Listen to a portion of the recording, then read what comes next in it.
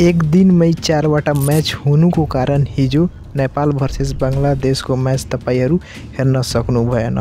जति पनि लिङ्क तपाईँहरूलाई म प्रोभाइड गरेको थिएँ मेसेन्जरमा जस्तै Star Sport Willow HD Disney plus Hotstar त्यसमा नेपालको म्याच नदेखाएर बाँकी तिनटै म्याच देखाइरहेको थियो।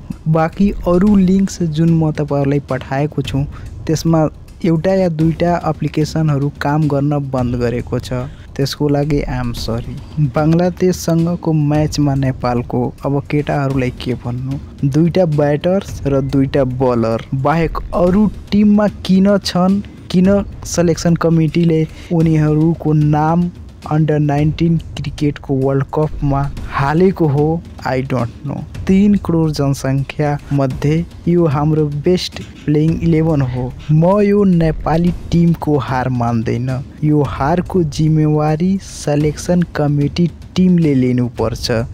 किनकि तिन करोड जनसङ्ख्या मध्ये मेरो ओपिनियनमा यो बेस्ट प्लेइङ इलेभेन हुनै सक्दैन। कुनै पनि ट्यालेन्टेड ब्याट्सम्यान एउटा या दुईवटा म्याचमा खराब प्रदर्शन गर्न सक्छ तर लगातार छवटा सातवटा आठवटा म्याचमा यदि खराब प्रदर्शन गरिरहेको छ भने टिममा उसको काम छैन। किनकि एउटा गली प्लेयर गली क्रिकेटर जुन गाउँ गाउँमा क्रिकेट खेल्छ उसले पनि यति धेरै चान्स पाएर एउटा या दुईवटा पर्फर्मेन्स निकाल्न सक्छ। दसवटा म्याच खेलेर एकचोटि त पर्फर्म गर्न सक्छ। त्यो त हामीलाई पनि थाहा छ।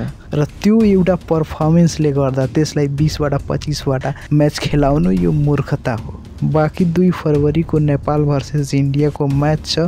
यदि तपाईँ हेर्न चाहनुहुन्छ भने म तपाईँहरूलाई लिङ्क प्रोभाइड गरिदिन्छु स्टार स्पोर्टको।